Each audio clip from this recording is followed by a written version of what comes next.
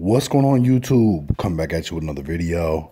We got Benzino responding on China Mac's post, um, basically calling him out over this racial slur that was used, or multiple racial slurs that were used during this uh, traffic stop with Benzino.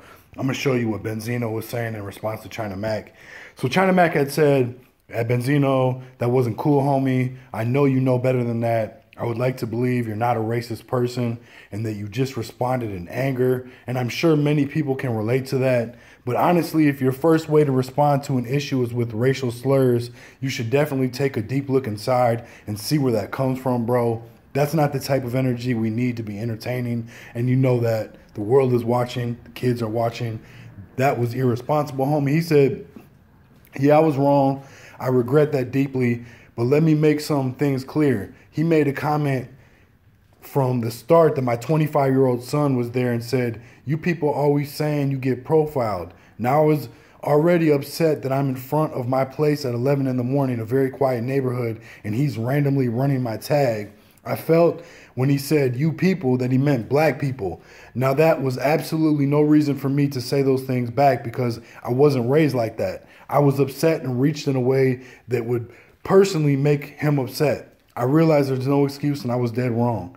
When we got to the station and I was in the cell, before he left, I told him to come over and I sincerely apologized, and he did as well. So I will also apologize if I offended you or any person of Asian descent because I love y'all like I love everybody. So he's responding. Um, to me, you got to respect his response. And he said, and one more thing Bro, I've been profiled and beat up and lied upon and been wronged many, many, many times by police who treated me bad because of my skin since the late 70s. I'm not going to play victim because black and brown men are the victims when it comes to police brutality and unfairness. I don't think that that's going to change either. It would just be real dope if all people were outraged when a black unarmed young man is gunned down by a police officer. I just wish people had the same energy.